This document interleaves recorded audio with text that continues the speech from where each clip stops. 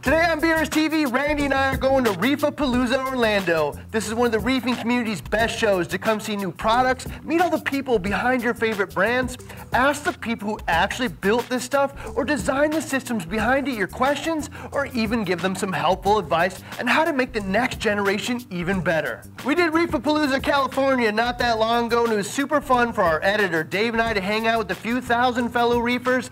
This time, Randy is coming. Hey guys, for those of you who don't know, I'm Randy. I man Facebook, Instagram, Snapchat, all the forums, and the guy who answers all of your questions on YouTube. We just hired a new editor, and I'm about to launch my own series of reefing videos, so this is pretty exciting for me as well. If you live in Florida and own a reef tank, this is almost a no-brainer. Come on down because there's all kinds of booths filled with limited edition corals. Even if you're not buying these, man, these are super cool to see in person. Even if you don't live in Florida but can get away for a quick weekend, Come on down because at the Bulk Reef and BRS TV booth, we're giving away thousands of dollars in prizes and thousands of these BRS TV shirts.